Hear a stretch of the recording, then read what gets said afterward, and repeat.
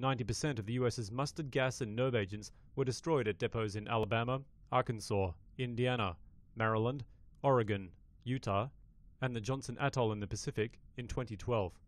The remaining nerve agents are stored at two depots in Colorado and Kentucky.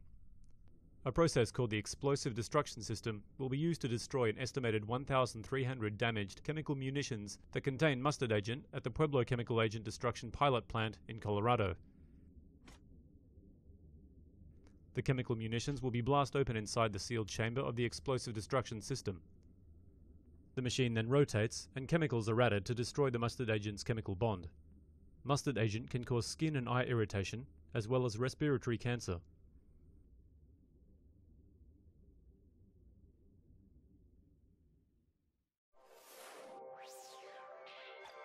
you